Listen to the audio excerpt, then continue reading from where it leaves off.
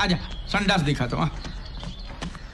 लगभग लगभग आप कह लीजिए, पौने दो घंटे का और इंतज़ार, उसके बाद भ्रष्टाचार की इमारतें आपको नज़र नहीं आएँगी, और ये 360 डिग्री कवरेज है एबीपी न्यूज़ पर। तो ये सायरन की आवाज़ जो आप सुन रहे हैं, ये एक तरीके से आगाह करता है कि अब से बस थोड़ी देर के बाद वो धमाका होने वाला है, जिसमें भ्रष्टाचार की दो बुलंद इमारतें ध्वस्त हो जाएँगी। और जब ट्विन टावर में ब्लास्ट होगा, तब कंपनी भी होगी। एबीपी न्यूज़ आपको दिखाने जा रहा है, भूकंप मापने वाली मशीन जो ब्लास्ट साइट के पास लगाई जा रही है। और ये देखिए, वक्त कितना बचता है।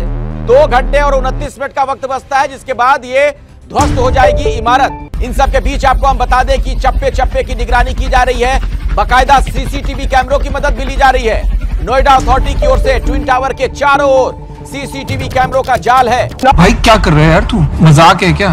आप क्या बहुत ज़्यादा पीते हो क्या? इससे वाहियात प्रोडक्ट मैंने ज़िंदगी में ना देखा है। ना मैं देखना चाहता हूँ मेरे को भगवान उठा ले इतना गंदा प्रोडक्ट है।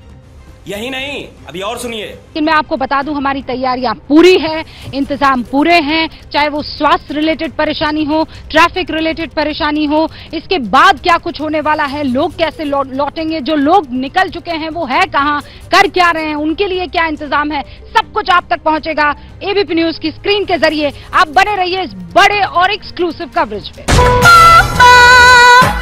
मेरे पापा। मुझे क्रेडिट नहीं चाहिए। सबसे पहले कॉलम में ड्रिल करके एक होल बनाया जाता है। ये ड्रिल मशीन ड्रिल मशीन के ज़रिए ये जो कॉलम है इसमें होल बनाया जाता है। तो आज की सुबह बहुत ही खास और ऐतिहासिक कई लिहाज से अगर आप देखें भ्रष्टाचार की वो इमारत जो कुतुब मीनार से भी ऊँची है उसे गिराने की पूरी तैयारी कर ली गई है। ये गगनचुंबी इमारत ध्वस्त होने वाली है ज़मीन दोष होने वाली है। वहाँ आसपास किस तरह की हलचल है? पूरी जानकारी तस्वीरों के ज़रिए एबीपी न्यूज़ लगातार आप तक पहुँचा रहा है। क्या चल गया रहा है ये? देश संकट में है। रुको जरा सबर करो। काउंटडाउन शुरू हो चुका है उल्टी गिनती शुरू हो जाएगी और कल जैसे ही दोपहर का ढाई बजेगा और ये जो मेरे पीछे आप इमारत देख रहे हैं ये ट्विन टावर्स हैं ये ताश की पत्तों की तरह ढेर हो जाएँगे। मैं पूरी की पूरी बिल्डिंग आपको दिखाता हूँ पूरी की पूरी इमारत आपको दिखाता हूँ क्या विशेष तैयारियाँ की गई वो समझाता हूँ। कैसे कैसे लोग रहते हैं यार यहाँ पर? चलो तुमको पागल कुत्ते का गाड़ी उठा के ले जाएगा बता रहे हैं हम।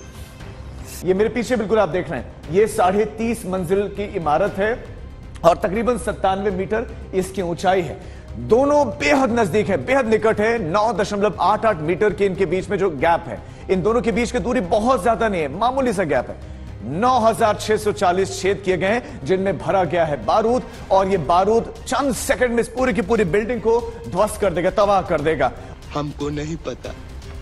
हमको कुछ नहीं पता। हमारे यहाँ ऐसा ही होता है।